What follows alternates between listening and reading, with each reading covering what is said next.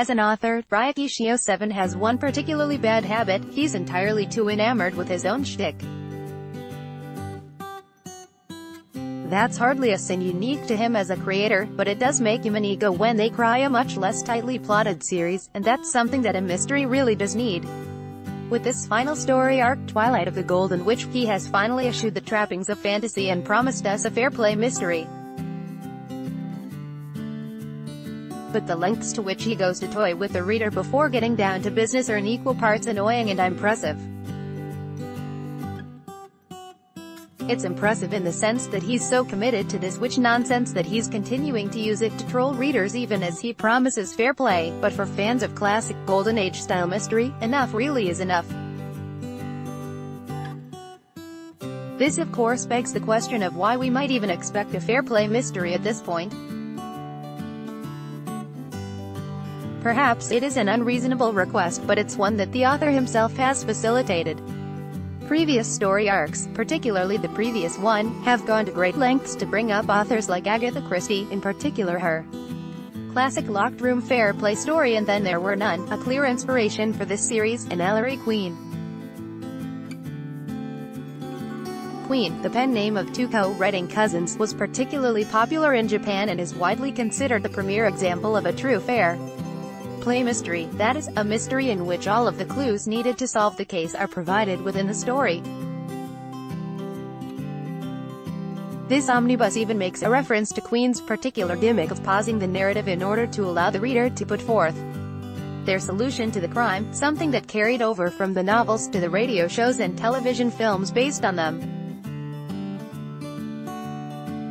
The radio show even brought in a celebrity guest to try solving the crime before Ellery, Ryukishi07 has also alluded to. Both Ronald Knox's Commandments for the mystery novel, a list of 10 rules true mystery authors must follow, and S.S. Van Dyne's similar 20-item list, all of which would seem to imply that we as readers are safe in thinking that perhaps he is at last going to pay tribute to the genre's heyday. As you may have guessed, that is not necessarily the case for the greater part of this omnibus.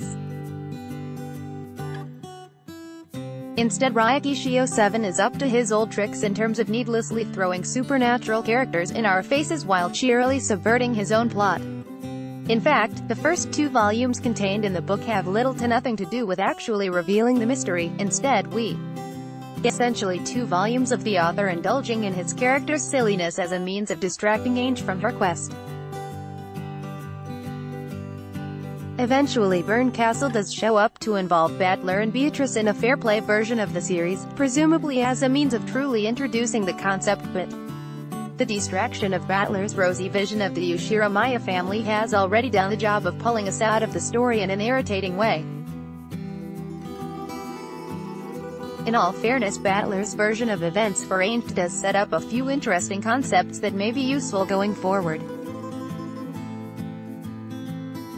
He claims to be giving her a truth but Ange ultimately rejects that, as he is clearly making up facts out of whole cloth.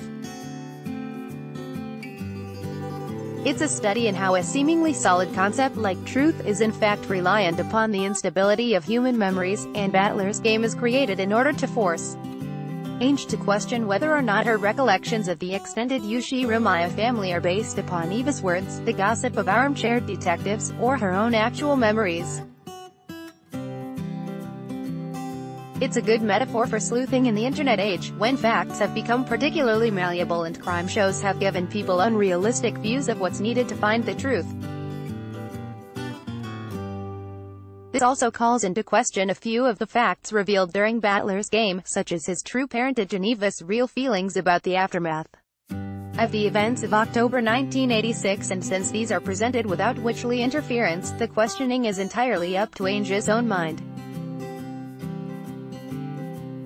Likewise there is an actual effort made during Berncastle's game with Battler and Beatrice to adhere to the rules of fair play mysteries list of 10 rules that Berncastle vows to follow is included, and that list is strikingly similar to both Knox's and Van Dyne's commandments. The point of this game is seemingly to continue to plant seeds of doubt in Ange's mind as she prepares to find out what is being billed as the actual truth of the matter at the end of the omnibus. Who, and what can she actually trust? And can anyone who wasn't actually there really know what happened?